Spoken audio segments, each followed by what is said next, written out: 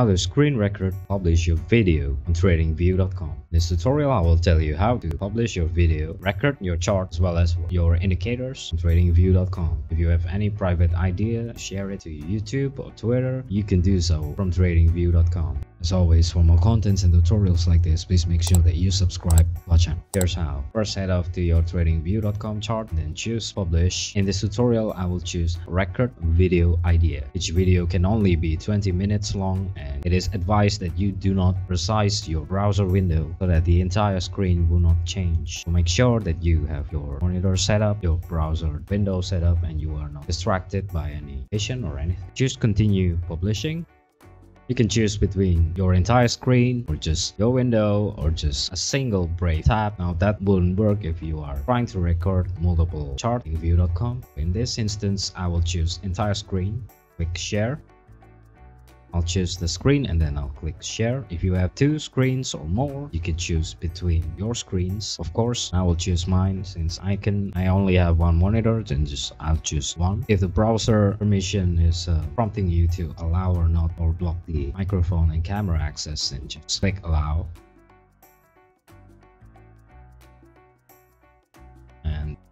Now you are recording, you can add indicators, move indicators, notes, or live Pine Script edit, or you can do anything else like compare your idea, whatever. But then after you are done recording, just choose this one menu on the bottom, stop sharing, or you can also do this. Go to the top right, you can pause it, you can toggle the microphone, or you can stop it altogether. So I will stop it right here it will preview the just recorded screen. From there you can download it of course if you wanted to download it or you can upload it. If you wanted to share your recording to the outside world just choose loading. Wait for it to finish the upload. It will not be very long. Then continue to publishing. From there you can enter the idea title and you can enter a description here, markdown format if you are familiar with it. If you have any related ideas previously, you can add it right here. You can choose the privacy settings. So for public, public will have access to this recording or if you want to view it for yourself, just choose private. You can choose between the uh, analysis. So for example, like fundamental analysis or technical brand analysis, just choose between the type also. Investment strategy and the category, you can choose multiple one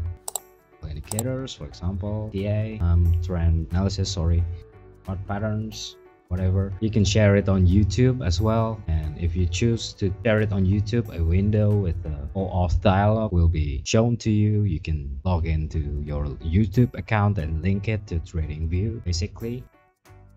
Or if you want to share it on Twitter, it will do the same too. And after you accept it, just tweet it, share it on your tweet or if you just want to publish it without sharing it on YouTube or Twitter, then just untick them both and then choose publish private idea. So that's it. How you screen record your tradingview.com chart, publish it, whether it be private, YouTube, Twitter, or you can also download. Pretty much it. To see more contents and tutorials like this, please make sure that you subscribe, like, and comment onto our channel. If you have any suggestions or any topics that you wanted us simply how to cover, please do not hesitate to put it down on the comment section down below. Cheers and I hope it helps. Take care.